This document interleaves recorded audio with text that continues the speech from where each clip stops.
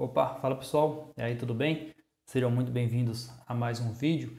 No vídeo de hoje eu quero falar um pouquinho sobre a porosidade do papel, como isso influencia no desenho é, e como você pode é, conseguir um bom resultado mesmo usando um papel poroso e mais algumas dicas adicionais que com certeza vale muito a pena você ficar até o final do vídeo, beleza? Então é o seguinte, eu já usei por muito tempo papéis porosos, já usei papéis lisos, já usei papéis intermediários. Então o que eu vou te falar aqui nesse vídeo são detalhes que eu fui observando no decorrer desse tempo. Eu comecei lá no início usando esse papel aqui, o Canson 140 gramas, inclusive nem abri ele aqui ainda.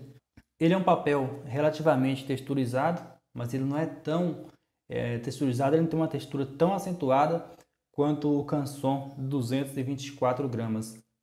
Inclusive depois eu migrei desse papel aqui, desses 140 gramas da Canson, para o 224 gramas também da Canson. Eu migrei mais porque foi a única, a única folha, o único bloco de folha que eu encontrei em tamanho A2, naquela época que eu pegava muitas encomendas e muitas vezes os clientes pediam em um tamanho maior, então eu comprei o bloco de papel da Canson 200 e 24 gramas. Vou mostrar a capa dele aí na tela, eu não tenho aqui ele mais.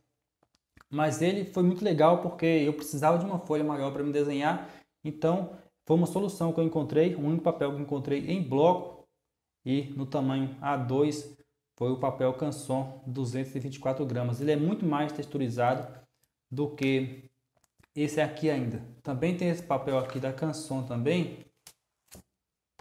Ele também é um papel é, tem uma textura bem acentuada também, até um pouco mais do que esse outro que eu te mostrei aqui. Esse é o Canson 200 gramas por metro quadrado, é um papel bem poroso também. Depois eu passei a usar é, o Fabriano 4L, que é esse papel aqui, que inclusive já está acabando já, tem poucas folhas. Esse é um papel intermediário, ele não é tão texturizado, mas ele também não é um papel tão liso. Ele tem uma certa textura, mas que você trabalhando da forma certa, você consegue um resultado muito bom com esse papel aqui, assim como também com esse papel daqui. Mas calma que já já vou dar detalhes sobre isso, né? sobre alguns macetes que você pode estar usando para conseguir melhores resultados. E por último, um outro papel que eu gostei bastante foi esse papel da Lana Bristol. Como você pode ver aí, esse é um papel lana Bristol, tamanho A3. Esse é um papel, na minha opinião, excelente, um papel muito bom, porém ele é extremamente liso, tá? Mas para mim é um excelente papel, eu gostei bastante.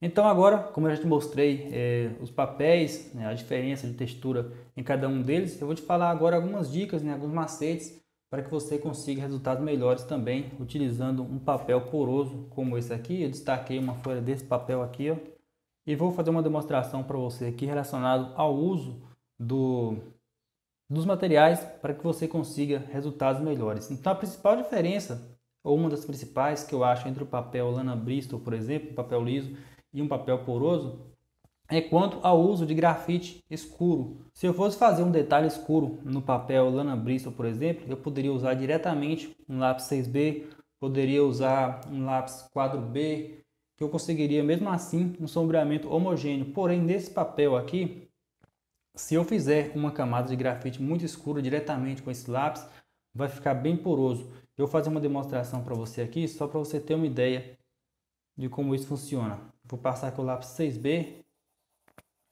Lembrando que eu estou usando aqui o lado mais liso da folha.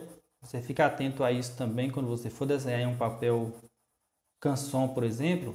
Escolha sempre o lado mais liso, tá? Porque ele tem duas faces, uma é mais texturizada e a outra é um pouco mais lisa. Então você escolhe sempre a parte mais lisa se você quiser realmente um sombreamento mais realista, né? um sombreamento mais homogêneo.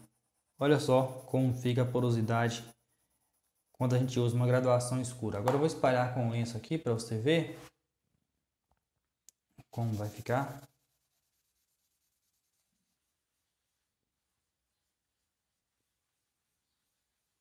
Não sei se está aparecendo legal aí no vídeo, mas se você observar, tem vários pontinhos brancos, né? Isso são as texturas, são a porosidade é, do papel. Isso porque eu usei uma graduação muito escura. Agora eu vou fazer o mesmo teste com lápis HB para você ver que é bem diferente né, o resultado quando a gente usa uma graduação mais dura. Olha só.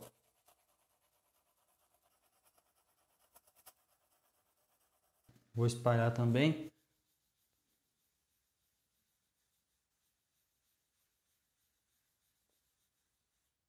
Olha a diferença, você observa que aqui já ficou bem mais liso do que nessa parte onde eu usei diretamente um lápis 6B. Então é importante você usar graduações mais claras. Se for uma parte escura, você passa primeiro uma camada com lápis HB ou um lápis H, porque esse lápis mais duro ele vai acabar fechando um pouco mais ali a porosidade do papel. E quando você vier com uma, com uma graduação mais escura, como 4B ou 6B, o papel já vai estar preparado. Ele vai estar com a porosidade um pouco mais fechada, porque você já passou um lápis mais duro. Aí depois sim você volta com uma segunda camada com lápis 2B ou diretamente com 4B mesmo fazendo a segunda camada e você vai ter um sombreamento um pouco mais liso.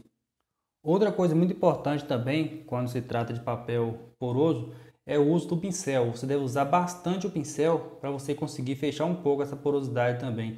Mas se a sua dúvida é se é possível fazer um sombreamento legal, um desenho bonito no papel poroso, a minha resposta é que sim, com certeza. E não necessariamente você precisa fazer um sombreamento 100% liso, tá? Pode ser que você não consiga um sombreamento 100% liso nesse papel é, poroso. Não vai ficar igual um sombreamento que você faria no Lana Bristol, mas não significa que seja ruim ou que seja bom. Isso depende muito do seu gosto pessoal, se você gosta de um desenho é um pouco mais liso, um pouco mais texturizado.